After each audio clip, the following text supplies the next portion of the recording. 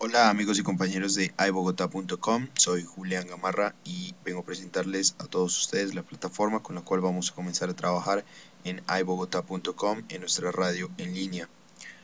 Antes de comenzar con este video y con este proyecto quiero darles las gracias a todos ustedes por estar interesados y por ser parte de la nueva radio, la radio en línea, una, una nueva forma, una forma diferente en la cual nosotros tenemos como proyección hacer un verdadero medio de comunicación, ser eficientes y ser periodistas con énfasis en hacer las cosas bien. Eso es lo que principalmente se desea hacer en el proyecto y lo principal de esto es que todos tengamos un momento de diversión, tomemos profesionalismo y hagamos las cosas como se debe.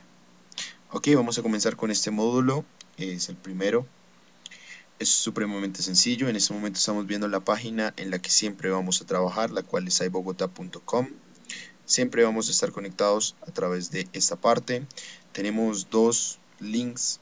Uno que es el blog, donde vamos a ver todas las noticias y todo lo que ustedes van a estar escribiendo a lo largo de su trayecto en iBogotá. Y otro link que es el de escucha aquí, donde los oyentes y ustedes mismos van a poder escucharse en vivo y en línea y la radio las 24 horas a través de este hipervínculo. Vamos a comenzar con el proceso de descarga del siguiente programa, el cual se llama Sam Broadcaster. Este es un potente software el cual funciona para enviar la señal de nuestro computador, de nuestro ordenador a Radionomy International, el servidor el cual nos hostea y el cual nos avala para estar haciendo la transmisión. El link que les voy a dar a continuación es un link que ustedes pueden tener, que, usted, siempre va a estar a la mano y que siempre va a estar disponible para todos ustedes. El link es el siguiente, www.ibogotá.com slash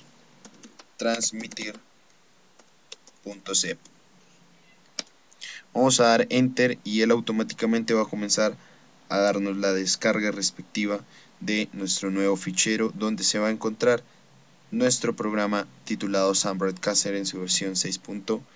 Eh, en las 6.2.6.7 que es una de las más avanzadas. Como yo ya lo tengo abajo, lo voy a cancelar esto. Y la descarga, como se dieron cuenta, he hablado 3, 4 segunditos y ya iba casi a la mitad. Entonces es súper rápido, no requiere de un internet muy veloz, no, es un programa supremamente básico y no necesita grandes cosas. Vamos a buscarlo porque voy a darles a ustedes el proceso de instalación respectivamente. En mi caso está en documentos de downloads y está en la parte de ya lo voy a buscar en este momento dice transmitir aquí está ok en el fichero de transmitir vamos a encontrar tres vínculos los cuales tenemos que tener en cuenta. Unas instrucciones donde nos van a dar el serial o el keygen del programa para poder instalar la versión del Sam Broadcaster eh, que no nos esté molestando cada 30 días que tiene que comprarse o reinstalarse nada de este tipo de cosas. Lo primero que vamos a hacer es ejecutar el archivo sambc-app .exe. La extensión .exe solamente sirve para computadores que manejen Windows, para las personas que tienen otro sistema operativo como el de Macintosh o como, no sé, Linux. Eh, pues con ustedes vamos a tener un tratamiento especial y tenemos que sentarnos a revisar personalmente con cada uno de sus computadores, con cada uno de sus ordenadores para poder solucionar su problema. Ok, vamos a iniciar el SAMBC app.exe vamos a darle aquí continuar vamos a darle aceptar normal esto siempre lo vamos a tener presente. Ustedes van a elegir la carpeta donde tengan el espacio suficiente por favor. Mm, les recomiendo que la instalen en D. Si la instalan en C pues es uno de los más complicados instalar y él en este momento va a estar instalando la versión del Sam Broadcaster y va a estar extrayendo los archivos necesarios para que nuestro computador y nuestro ordenador tenga toda, y todo el aval del mismo computador para poder transmitir. Ya está completada la instalación, es una instalación muy rápida, es una instalación muy breve. Vamos a quitar este show readme y vamos a darle en finish. Ok, eso es todo por esta parte. Ahora lo que tenemos que hacer es venir al soundreset.x y lo vamos a ejecutar. Nos va a botar esto, no se preocupen, simplemente el aviso de que ya todo está. Este es tipo crack, pero es un crack direct. Es un crack directo hacia el programa, no tenemos que andar copiando ni andar pegando nada en ninguna carpeta de nuestro ordenador. En este momento nuestro Sound Broadcaster está instalado ya y aquí está en nuestro escritorio. Vamos a abrirlo, vamos a abrirlo y él nos va a dar otra asignatura para empezar otra instalación, pero esta vez ya es de producto como tal, porque ya está instalado en nuestras computadoras. Vamos a darle Next. Siempre en la base del sistema vamos a manejar algo que se llama Firebird y es una base de datos dentro de nuestro mismo, entre nuestro mismo computador, la cual nos va a ayudar a manejar la música, a manejar efectos y a manejar todo lo que es el, streaming interno de la computadora. Siempre vamos a manejar Firebird. ¿Por qué hago énfasis en esto? Ustedes pueden ver tutoriales o otras cosas en internet donde manejan MySQL, eh, PostGrid o otras cosas, pero no, no es lo recomendado siempre Firebird, en nuestro caso para ibogotá.com. Vamos a darle en continuar. Ok, llegamos a la parte de Login Detail for Firebird Database. Estos son los detalles para loguearse en la base de datos. Vamos a clicar aquí en Specific Custom Settings y vamos a dejarlo tal como está, ¿no? Porque aquí ya está craqueado. Esto fue lo que acabamos de hacer dándole en el segundo X. Pero eh, vamos a darle en Next. Esto ya queda así. Ok, añadir mis archivos de audio, sí, claro, es lo que nos interesa, que todos los archivos de audio queden ahí. Y añadir sonidos de efecto de FX ah, y archivos de demo. Estas dos casillitas hay que dejarlas marcadas, es lo preferible. Ok, en Picture Sound Device, aquí van a buscar ustedes su controlador.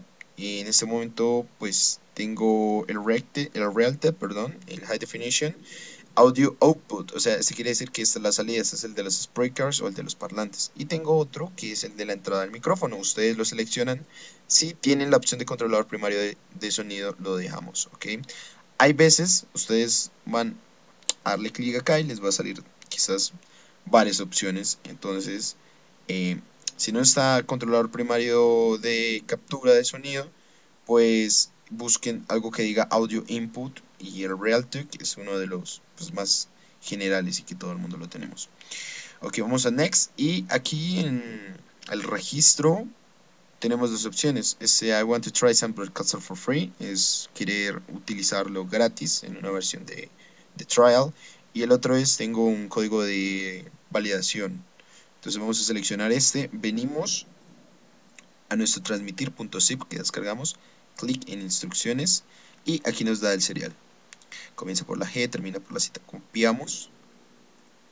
Venimos acá en la primera casilla y pegamos. Una vez más, damos continuar. En este momento el Sam Broadcaster ya nos ha dicho que, o sea, si llegas a esta ventanita quiere decir que has hecho todo muy bien y no es la gran cosa, la verdad, instalar el programa. Vamos a darle en continuar y listo y aquí te dan las gracias, ahora estás comenzando a utilizar Sam Broadcaster. Finish y él automáticamente se va a abrir y él va a empezar a, mira, va a empezar a añadir todo la base dat de nuestro computador, de nuestro ordenador. Listo, una vez hecho esto, encontramos, bueno, él te va a abrir una ventanita aquí de Spatial donde te va a dar las gracias, donde te explica algunas cosas de Sam Broadcaster. Es como cuando uno instala DOF, ¿no? Es lo mismo. Aquí ya tenemos el Sound Broadcaster instalado. Es un súper sencillo. Aquí nos da eh, varios decks o varias box, varias cajitas donde nosotros tenemos eh, distintas cosas que podemos controlar.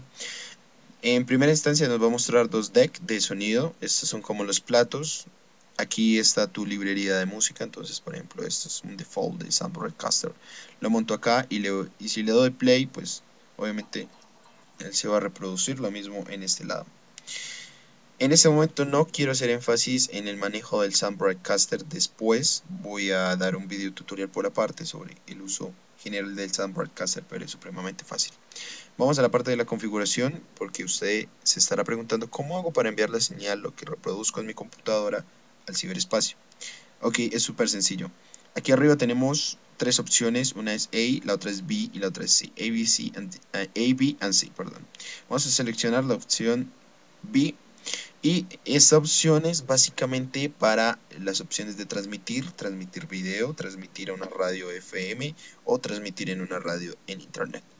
Para la tercera opción que les he dicho, hay un box que se llama Encounters, que lo encontramos aquí en la mitad, el que estoy señalando.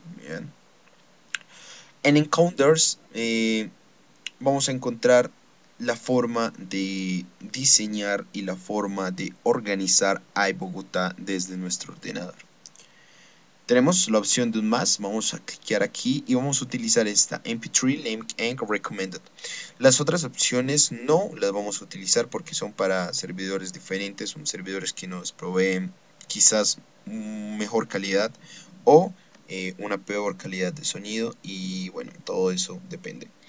Sé que no va a ser la primera vez que ustedes van a trabajar en una radio en línea, entonces esto les va a servir demasiado porque mm, por lo general en las radios, cuando uno está en una radio FM, en una radio terrestre, y a veces hace los programas desde la casa, porque a veces sucede, esto es básico porque esto es, este es el programa que se maneja. Otros usan Sara Radio, Virtual DJ, pero uno de los más recomendados para utilizar es el Sound Broadcaster. Ok, tenemos MP3 siempre aquí en MP3 y vamos a darle en OK. Ok, llegamos a una parte principal. Eh, tenemos el bitrate.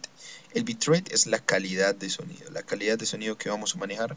Eh, los que saben de música saben que es un bitrate. Uno ve en las canciones por lo general un bitrate de 300. Aquí no vamos a seleccionar un bitrate de 320 que es el máximo. Jamás porque si no la transmisión se nos va a caer. Lo que yo recomiendo es manejar uno de 96. En Mode vamos a colocar, eh, bueno, está la opción de estéreo, pero eh, creo que suena mejor en mono, porque el sonido va directamente y no tiene problemas, no tiene tapujos, como se diría eh, por ahí. Esto siempre va a estar en automático, ¿no? Vamos a dejar este sample ready en automático, pero hay veces que, bueno, y ustedes ya lo pueden ver la diferencia, también lo podemos dejar en 44100, pero yo lo dejo en automático. Opciones generales, por favor, siempre auto start, auto reconnect, ok, y siempre en uno. Esto es importantísimo, por favor, siempre eso tiene que estar en uno. Y vamos a chulear esta ventanita, allow scripts and stream, y vamos a seleccionar el tercero, ¿no? Automatic Data Streaming. Eso es todo por esa parte. Tenemos otra pestaña aquí que dice Server Details, detalles del servidor. Y ok, tipo de servidor, Showcast siempre. Showcast V1, siempre, V1. No vayan a seleccionar el V2, aunque se parece, pero vean, fíjense en esta parte, cuando selecciono el V1 me va a dar otras opciones. Llegamos a la parte principal del horario, Server IP. El Server IP va a ser algo que yo les voy a dar en un archivo aparte que no viene descargado aquí en transmitir. Esto ya lo podemos cerrar. Eh, esto viene en la parte que yo les voy a enviar en un correo, yo les voy a enviar un mail y cada uno de ustedes va a tener esta parte, esta introducción y estos son como los códigos de la radio pues que cada uno de ustedes va a tener y que obviamente van a ser intransferibles. Los tengo aquí en mi escritorio, aquí dice hay Bogotá, una breve explicación del proyecto, modos de contactarme y un agradecimiento a ustedes por estar aquí. Aquí está lo principal, nos habla de un IP, de un puerto y de un password. Ok, el IP va a estar acá en este archivo que yo tengo, ustedes también lo van a tener. Llegamos y copiamos, ¿no? Revisamos de que no nos quede espacio, que no nos quede copiado un espacio, no. Simplemente al borde. Copiar y ese va a venir siendo nuestro server IP. El puerto, el puerto es 56, 54.4, pero de igual manera venimos acá, copiamos y lo pegamos. Como este video va a estar montado en la red, mm, el password lo voy a reservar, solamente se los voy a dar en el correo, en este, les voy a dar el password, pero el password es el general, el que tenemos para todo. Ustedes ya saben cuál es. My station name, vamos a colocar iBogotá guion radio online. En género, pues tenemos varios, dejémoslo así. Y en website, obviamente, vamos a colocar el link de nuestra radio. Y eso es todo por esta parte. En Strain Archive mm, lo vamos a dejar así. Para las personas que quieren saber qué es esto, esto es para guardar lo que usted transmita en su computador. Si usted quiere hacer sus podcasts, lo puede hacer desde esta, desde esto, entonces usted lo toma y lo genera, pero como yo no quiero hacer podcast de lo que yo voy a grabar, simplemente así. Y listo. Esto ya está. ¿Qué debo hacer eh, después de esto? Simplemente le voy a dar OK y él va a intentar transmitir. Aquí dice, conectando, está intentando conectar con el servidor. Pero lo vamos a pausar. ¿Por qué lo vamos a pausar? Sencillo. Ojo y atención a lo que voy a decir a continuación. Antes de transmitir, siempre por favor entren a la radio, clic en escucha aquí y siempre le vamos a dar play antes de transmitir al reproductor de radio. En ese momento está sonando la música de la emisora. ¿Qué vamos a hacer a continuación? Ahora sí podemos venir al Sound Broadcaster y darle en play. Podemos pausar esta y en ese momento nos está diciendo que está transmitiendo en Condin. ¿Lo ven? ¿Por qué tuve que hacer esto?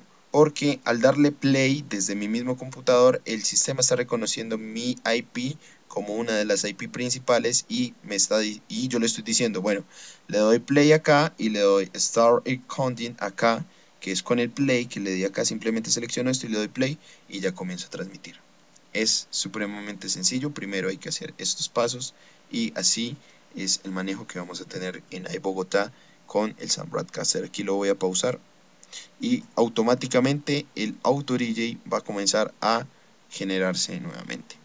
Es algo supremamente sencillo. Espero que si tienen dudas, por favor me contacten. Mi Skype está en este archivo que tienen en este momento, que yo les voy a enviar cada uno de sus correos. Y mi correo también, pues ahí ustedes van a poder estar haciéndome las preguntas respectivas.